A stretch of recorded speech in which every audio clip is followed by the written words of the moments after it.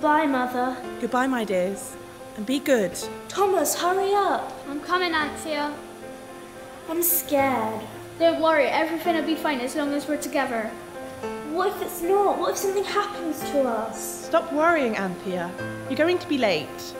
Thomas, stand up straight.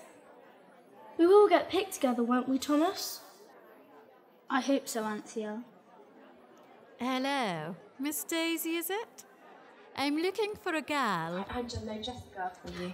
Thank you. Here we go. What about Thomas? I'm sorry, child. Thomas won't be coming. Please, you can't take my sister away from me. Come along, boy, and stop that yapping.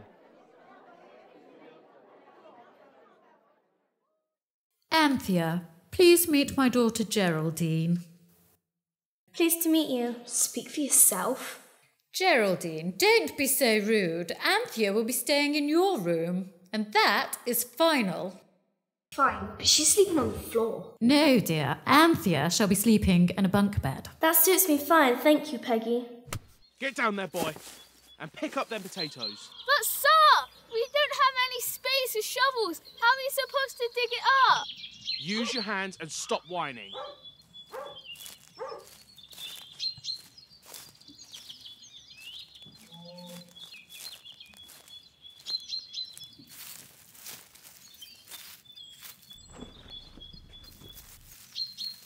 This is awful.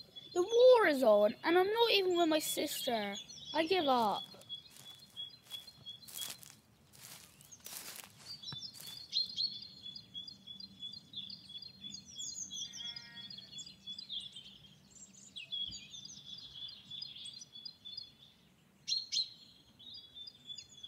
I got to go and find my sister. You look lost. Well, I'm trying to find my sister and I have no money, and I'm really scared.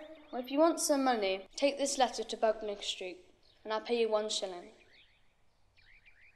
Thomas? Anthea, I have so much to tell you.